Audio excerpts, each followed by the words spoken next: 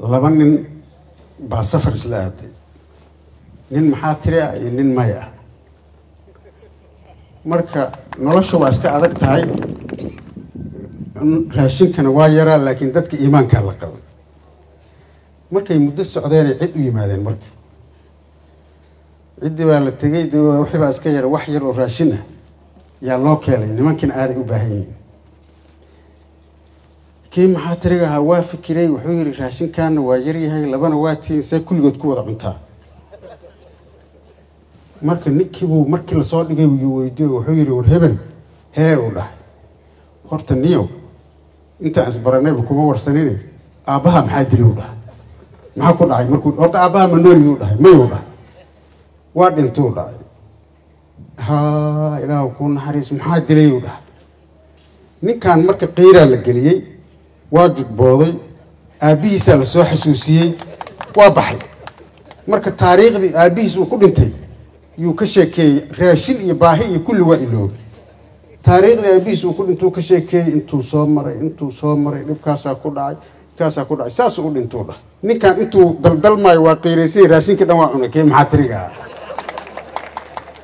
markii uu dhameeyey yuu ku soo jeesto wuxuu yihi warnew adig aabbaha maxaa dilay ninkiina weli wax afkiisa ma saariyaa kud baa dilu yidhi kud inta ugu dambaysa intuu qaatay.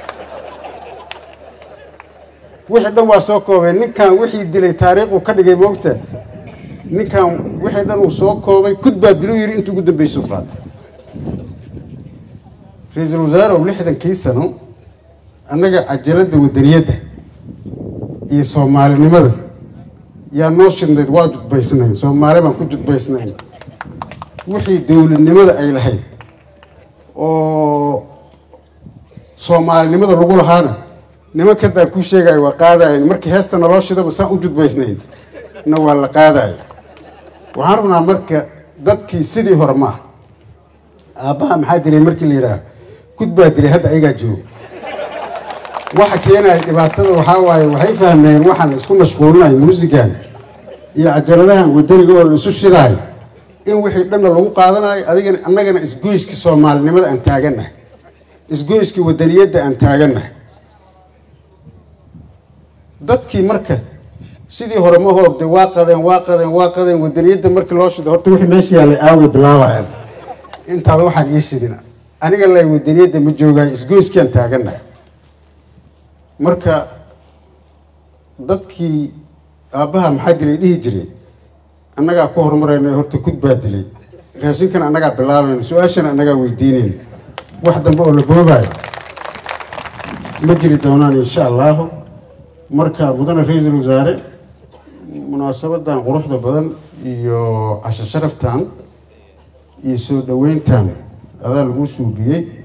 Hadalka iyo khudbada qiimaheeda badanna adaa iskale runtii waxaadna dareensiisay soomaalinimo waxaadna dareensiisay dowladnimo.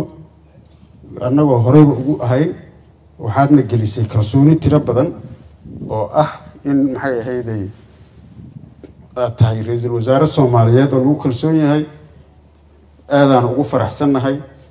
Run waxaad la kulantay ururadii bulshada waxaad la kulantay xukuumaddii waxaad aragtay dadkan baahida ay dowladnimada u qabaan intaas wax u dhaafsan ma jiraan.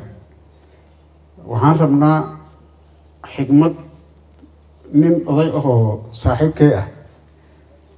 Yaa